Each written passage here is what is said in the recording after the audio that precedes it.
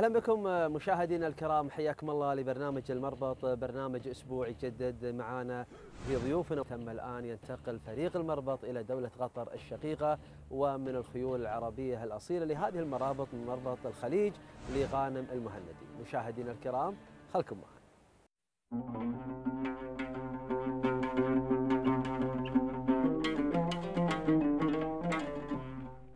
فريق برنامج المربط من تلفزيون دولة الكويت بزيارة دولة قطر الشقيقة وذلك لحرصهم واهتمامهم بالخيل العربي الأصيل والتوسع في نطاق البرنامج.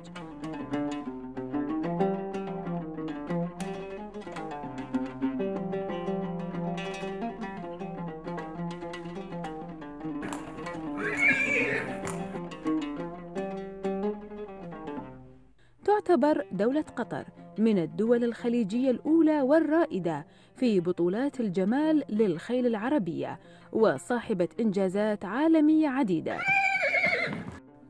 غانم بن علي المهندي صاحب مربط الخليج في دولة قطر الشقيقة بدأ اهتمامه بالخيل في عام 88 ولكنه قرر فعليا بإنشاء مربط خاص به سنة 1994 بدأ هذه الهواية من خلال حث أبنائه على ممارسة هذه الهواية.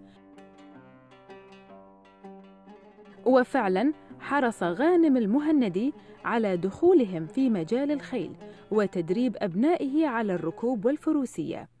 بعدها بدأ بشراء أفراس للركوب، ثم اتجه للخيل العربية الأصيلة، ودخل في الهواية بعدة اتجاهات، منها ما هو في مجال الماراثون وفي مجال الجمال.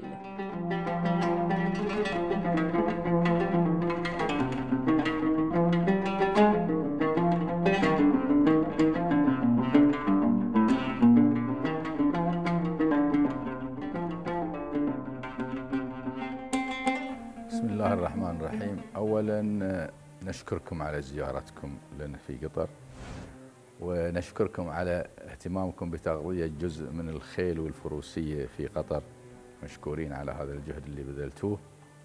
معاكم أخوكم غانم بن علي المهندي صاحب مربط الخليج. كانت الفكرة بدايتي مع الخيل عبارة عن اهتمامي إن الأولاد يمارسون رياضات و وأنا أحب الرياضة ف وكنت أنا ودي إني أنا أكون تكون رياضتي رياضة الخيل فوجهت الأولاد لهذا الاهتمام. لما أخذوا دورات في الفروسية قلنا طبعا لازم نشتري لهم خيل.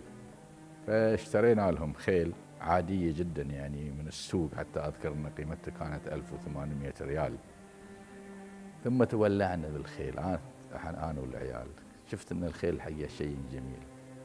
وطبعا نقرأ عنه في الكتب ونقرأ عنه في الشعر وخاصة إني أنا تخصصي أدب عربي فأقرأ في الشعر عن الخيل والفروسية ومواصفاته وكيف العرب اهتمت به وكيف وصفت هذا الحصان وكيف شارك هذا الحصان في التاريخ العربي وفي التاريخ الإسلامي وفي كل تواريخ الأمم كان له دور فعال. فابتدى هذا الخيل يصير واحد واثنين قلت طيب أنا ما دام إني أنا بربي خيل اذا ليش ما أتجه اتجاه إني أنا أربي سلالات معينة ذات أصول معينة. فالحقيقة كنت محتار إني أنا أختار بين السباق أو بين الماراثون أو بين القفز لكن شفت إن خيل الجمال هو الخيل اللي فيه المتعة فعلا يعني أول شيء في مشاهدته طول الوقت يعني خيل السباق فرحته في عملية الفوز لحظة الفوز. ونفس الشيء خيل الماراثون في عملية الجري اللي بيجري خلال اليوم. والقفز في خلال الفل. أما خيل الجمال تقدر تتمتع به في أي وقت ليل ونهار لأن هي صورة لوحة جميلة الله خلقها وابدعها وأنا أعتقد أن تفسير والخيل المسومة هي الخيل ذات التقاطيع الجميلة. والله سبحانه وتعالى يقدر يقول الخيل ولكن ما قام الخيل المسومة اللي هي لها سماء معينة. في وجوهها وفي تقاطيعها. فاتجهت إلى خيل الجمال. ثم طبعا بعلاقاتي بالإخوان هنا في قطر وخاصة زملائي في في الشقب زملائي في الشيخ عبد العزيز بن خالد في الريان مربط الريان الشيخ نواف بن ناصر. الحقيقة كلهم من الشيوخ ذين أصحاب مرابط الجمال وبعلاقاتي معاهم وازور مرابطهم قلت لا اذا أنا أتجه لهذا الاتجاه وابتديت أغتني خير الجمال صراحة. ثم ابتديت اسس أسطبل. والحقيقة وإن كانت عندي من مده سنتين ثلاث كانت الخيل عندي أكثر من الموجود الآن لكن أهملت سنتين نتيجة اشتغالي والآن من مدة خمسة شهور رجعت الاهتمام ثاني والحين أنا بصدد تطوير المربط وتطوير أيضا الخيل واقتناء سلالات أو دم جديد من غير الدم اللي موجود عندنا صراحة. هذه هي بداياتنا مع الخيل، طبعا العيال تولعوا بالخيل وتركوها وإحنا الكبار تورطنا فيها لكنها ورطة حلوة ورطة جميلة.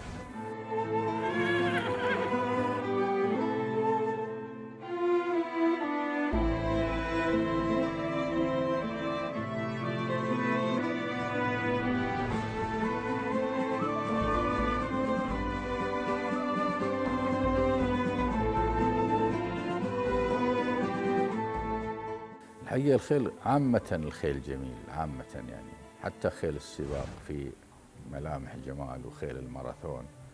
لكن خيل الجمال هو خيل العربية مشهورة بجمال مميز عن بقية الخيل. لذلك هي اشتهت سيدنا سليمان وأشغلت عن الصلاة من جمالها.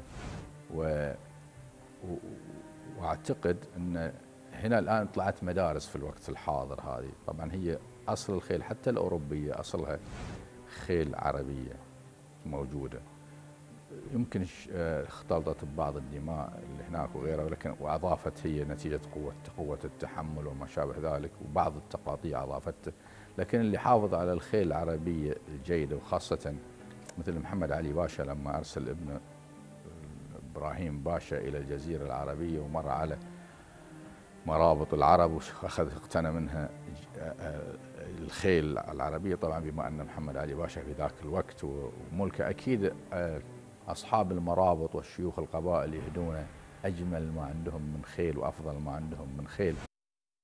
فانتقلت الخيل إلى مصر وكانت هناك موجودة وبدات السجلات تتسجل الحقيقة وهذا فضل يرجع بعد الله يرجع له في موضوع ان نسجل مرابط الخيل وأصول الخيل على أساس إنها هي مضية و وسميت الخيل المصرية. يعني الحين يسمونها هي الخيل المصرية أو هي لكن هي بالأصح خيل الجزيرة العربية بس حفظت في مصر. آه ليش؟ لأن كانوا في الجزيرة العربية لم تسجل في في في في, في كتب أو في توثق إنما كانت بالذاكرة بالحفظ رواية عن عن عن عن. ولكن بعد الفترة الطويلة هذه ممكن إنه يكون يضيع أصل الخيل. انتقلت هذه الخيل إلى أوروبا وعاشت في دول كثيره عاشت في فرنسا وعاشت في بولندا وعاشت في أمريكا وراحت لأمريكا وبريطانيا وسميت في خيل روسية وفي خيل بولندية وفي خيل حية. ولكن عامة هي جميلة. نتيجة هناك نتيجة الجو نتيجة الظروف نتيجة الرعاية نتيجة أخذت أشكال معينة لكن ما زالت تحفظ على تحافظ على جمالها. أخذت شيء بعض أخذ إبداع في الحركة بعض نتيجة أنه هو مطلوب بالمراعي. آه، بعض أخذ آه، شكل شكل الحجم الضخامة في الجسم. ولكن أنا أعتقد أن الخيل العربية خيل هي جميلة في جميع الحالات. أنا واحد اتجهت طبعا الناس لهم اتجاه يقول لك والله إحنا نتجه الخيل المصرية. صحيح هي الخيل المصرية جميلة أو هي خيل الجزيرة أصلا والباقي الخيل أخذ الجمال منها. لكن أنا أعتقد الجميل جميل سواء كان بولندي أو فرنسي أو ما دام الحصان جميل حصان. وفي الأخير يرجع إلى أصوله إلى الخيول العربية لأنك نادرا ما تحصل في التقاطيع خاصة في تقاطيع الرأس نادرا ما تلقى الجمال اللي موجود في الخيل العربية في خيل آه، أخرى غير من السلالات الخيل الثانية. أنا واحد أتجه أن الجميل جميل سواء كان أي نوع كان من الخيل هذا الشيء. لكن هناك بعض الأخوان وأنا أعتقد أن أيضا معهم حق يحافظون يقول لك لا إحنا نحافظ على دم معين مو عايزين نخلط هذا الدم. مثل الناس يحافظون على السلالة سلالة الجزيرة اللي هي الخيل المصرية تسمى الخيل المصرية. هذه بالنسبة أنا أعتقد لموضوع الجمال. أكثر خيل الخيل الأخرى أنا الحقيقة ما عندي خبرة فيها لكن هي هذه تعتمد على السرعة أو على قوة البنية كخيل القفز والتحمل كخيل الماراثون. وفي خيل الماراثون الخيل العربية أثبتت جدارة أكثر من الخيول الأخرى. الخيل العربية نتيجة أول شيء أن هذا الدم من هذه البيئة نفسها وبيئتنا إحنا آه، بيئتنا قاسية البيئة العربية. فلذلك تحملت هي تحملت مشقة العمل. ثاني شيء أن تقاطيع جسمها سبحان الله أعطاها أن هي تمشي مسافات طويلة جدا. ولذلك تشوف الخيل الأوروبية أو الثيربرد مثلا لا تتحمل المسافات الطويلة مثل الخيل العربية. صحيح الخيل العربي العربي ليس سريع في الفترة الأولى ولكن يتحمل المسافات البعيدة والمسافات الطويلة. لذلك ما نجح في الماراثون إلا الخيل, إلا الخيل العربية أكثريتها هذا عامة يعني عن توجهنا للخيل الجمال جمال.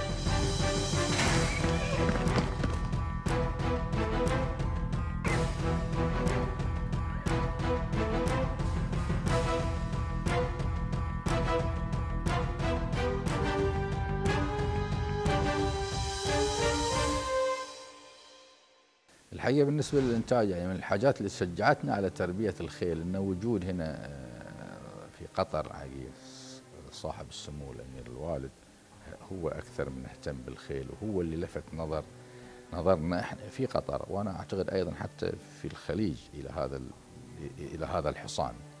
لما ابتدى يعني استقطب خيل مميزة من جميع دول العالم وأحيا مربط الشقب.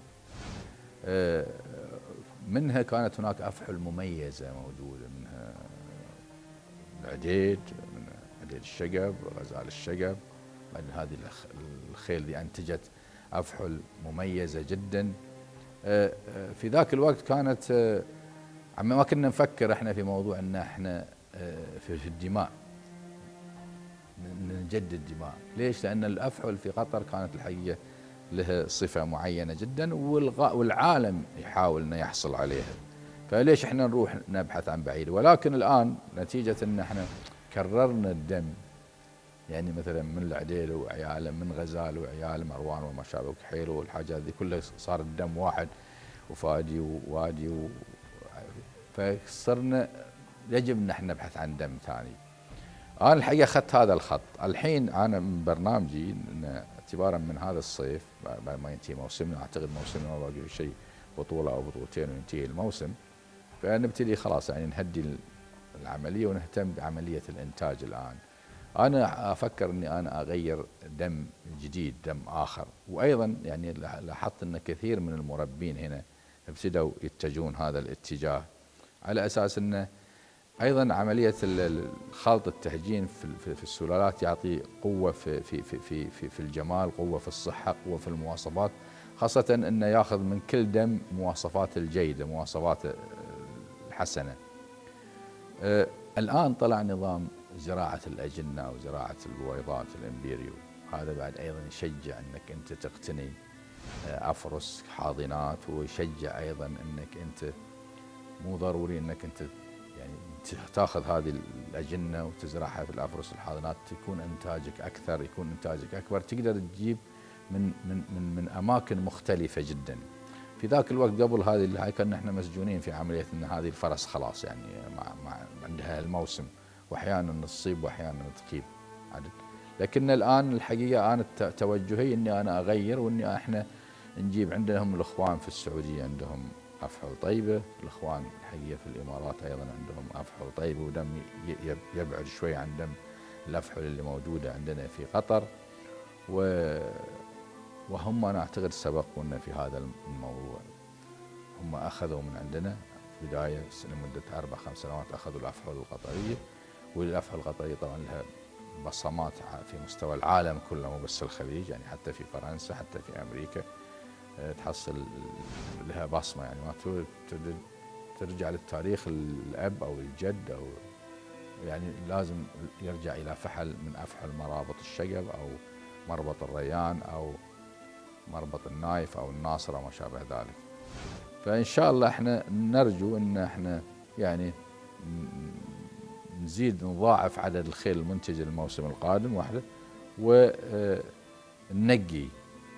يعني نعطي بس 25% للاحفال القطرية و75% نجيب أفحل جديدة دم دماء جديدة ندخلها وفي ذلك أيضا بزراعه بزراعة الأجنة الإمبيريو ممكن ان ندخل دماء من الأفرس جديدة ومن الأفحل جديدة أيضا في زراعة البويضة هذه.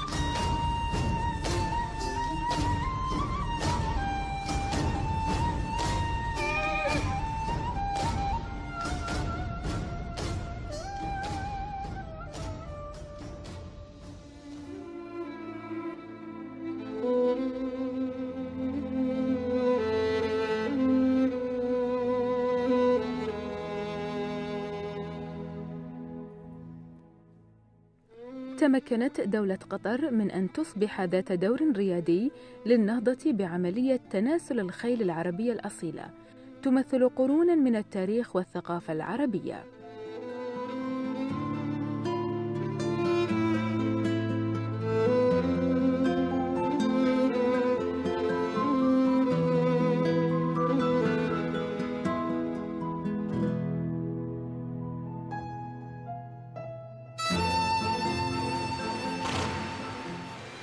بدأ الشقب منذ عام 1992 في التحول من مربط خيل عادي إلى منشأة من الطراز العالمي. تهتم بتناسل الخيل العربية الأصيلة وبمسابقات الجمال التي تقام لها. بقي الهدف من البرنامج ثابتا منذ انطلاقته ألا وهو العمل على إنتاج خيل جميلة ورياضية. تكون مثالا للنبل وهي الصفة المميزة للنسل العربي من الخيل. انعكس هذا السعي للتميز من خلال التأثير العالمي لإسطبلات الشقب والتي تضم بين جنباتها ثلاثة أفحل تم تناسلها في قطر وحصدت ألقابا وبطولات العالم في الجمال وهي غزال الشقب والعديد الشقب ومروان الشقب ويمر الشقب حاليا بتوسعات هامة بعد أن أصبح عضوا في مؤسسة قطر ولكنه لا يزال مخلصا لأصوله كمزرعة رائدة للتناسل تعود ملكيتها لصاحب السمو أمير البلاد.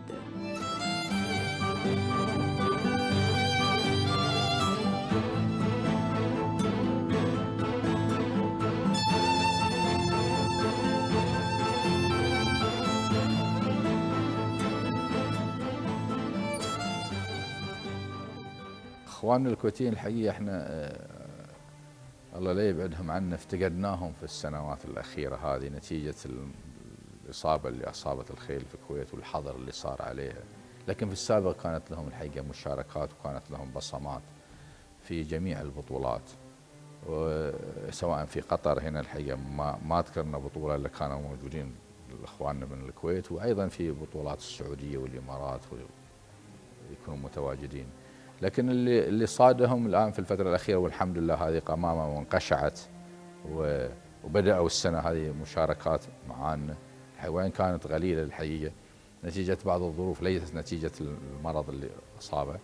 إحنا بس ما كانوا بالنشاط السابق لهم. نرجو إنهم يعني يرجعون مرة ثانية لنا. وإحنا إن شاء الله جايينهم جايينهم. إحنا لو بالإصابة كان جايينهم الحقيقة. الفترة اللي إحنا قبل قبل إصابة الحظر اللي صار على الكويت كانت البطولات في الكويت قليلة جدا. لكن الآن أشوف أنا ما شاء الله يدعون الإخوان وصارت بطولات كثيرة. وأعتقد عندكم أكثر من ثلاث أربع بطولات موجودة الآن.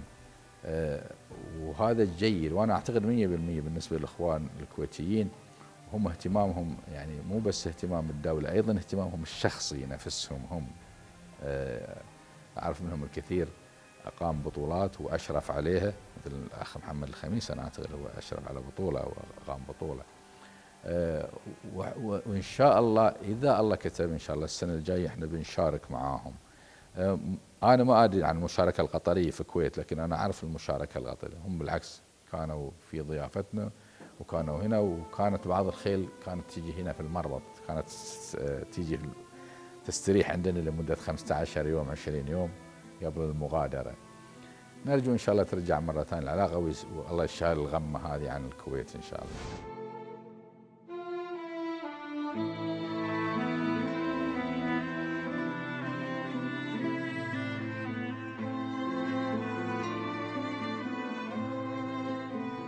الحقيقة مو بس في دولة قطر، دولة قطر وأنا أشوف كل دول الخليج يعني خاصة دولنا اللي محدودة المساحة. مثل البحرين مثل الكويت مثل قطر. في البداية لما ابتدينا بالخيل كنا مجموعة قليلة جدا من من المواطنين. كانوا أكثر تسعين بالمية هم الشيوخ وبعض وجهاء البلد. الشيوخ وجهاء البلد عندهم من المعوقات اللي تواجه الخيل مساحة الأرض.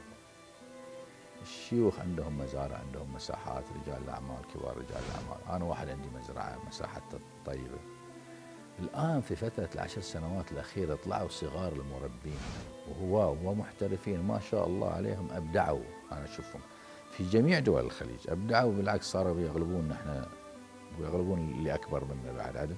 الحقيقة في إبداعاتهم واهتماماتهم. ليش؟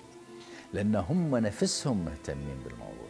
يعني أنا ليش أقول لك؟ أنا يعني عندي عندي مدرب عندي سايس عندي مدير عندي لكن هذا هذا المربي الهاوي اللي أبدع هو نفسه تحصل هو يدرب الخيل وهو سايسها وهو يشتريها وهو في مشكلة ما عنده مساحة. يعني إحنا عندنا في قطر يوزعون عزب العزبة عبارة عن 50 في 50 50 في 50 ما تسوي شيء حق الخيل. إذا أنت عندك 10 15 راس ما تعمل أي شيء. تبي لك محور تبي لك بركة تبي لك بدك تبي لك غرف مساحات. الخيل اذا تتقيد مصيبة هذه. يعني تصاب بالأمراض آه، إنتاجيتها تقل مشاكلها تكثر آه، تبي لها مساحات كثيرة. إحنا كنا نرجو يعني إن تكون هناك مساحات مثل ما, ما مثل ما عملت الهجن مثلا. إن تكون هناك مساحات ومناطق مخصصة لمربين الخيل على أساس تكون فيها تركات تكون فيها بدكات تكون فيها محاور يعني مو كل واحد بعد المحور مكلف الترك والبدك مكلف على إن المربي أو الهاوي العادي في دول الخليج إنه ما عنده الإمكانيات. بعضهم يعتمد على راتبه يقتطع هذا الشيء من من من رزقة عياله.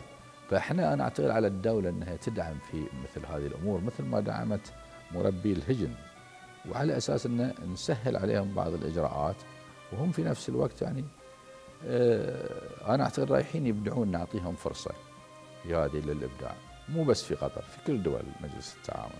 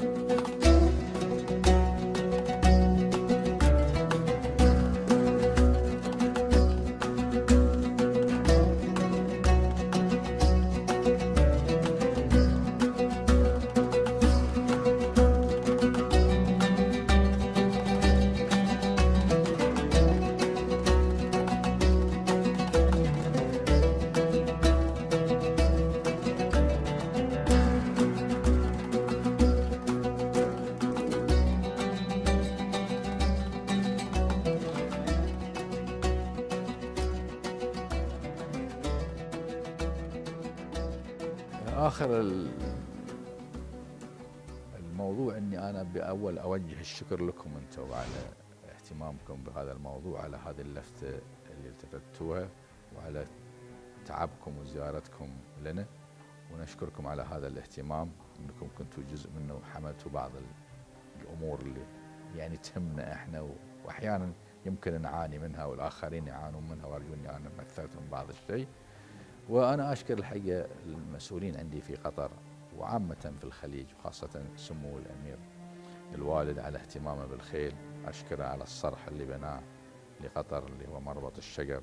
أشكره على اختياره للخيل أرجو مزيد من الدعم من سمو الأمير لمربين الخيل القطرية. وأرجو أن أيضا المسؤولين في دول الخليج يركزون على صغار المربين أو هو المواطنين العاديين. في في في في دول مجلس التعاون. وأنا أفرح أكثر لما أنا أشوفهم آه، في المهرجانات في مهرجانات الخيل وبطولات الخيل. آه، يعني إحنا الحقيقة في كثير من المهرجانات نشوف 90% آه، من الحضور غير خليجيين. في مهرجانات الخيل نحصل 99% من الحضور خليجيين. وهذا الحقيقة شيء يثلج الصدر معناته إن إحنا مرتبطين بهذا الحصان معناته إحنا ندعم هذا الشيء. وطبعا هناك كثيرين من إحنا الحقيقة عندنا آه، في دول مجلس التعاون عامة التوعيه آه، آه، والإعلان عن بطولات الخيل ومسابقات الخيل ضعيف جدا. لذلك عندنا الخيل هذا جميل جميل بالنسبة للبشرية كلها. يجب إنهم يحضرون إخواننا العرب إخواننا غير العرب اللي موجودين عندنا.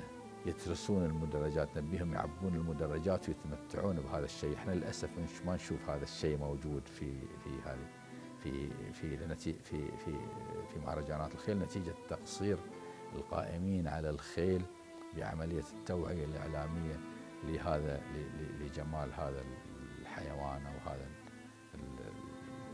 المكرم. حتى سبحان الله إنه خصص له سورة في القرآن وأقسم فنرجو الاهتمام هذا الشيء. ونشكر جميع المسؤولين في دول مجلس التعاون على النهضة اللي سووها خلال 15 سنة ل 20 سنة وعادوا الخيل العربي إلى مواقعه وإلى أرضه وإلى مكانه. مشاهدينا الكرام مربط الخليج سعدنا حقيقة كثيرا لنهاية هذه الحلقة وكذلك أيضا من أجواءها الجميلة والمميزة لأخوي غانم المهندي للاستمتاع من هذه الأجواء والوصف التفصيلي من الخيول العربية الأصيلة. نستودعكم الله في حلقة قادمة. إلى اللقاء.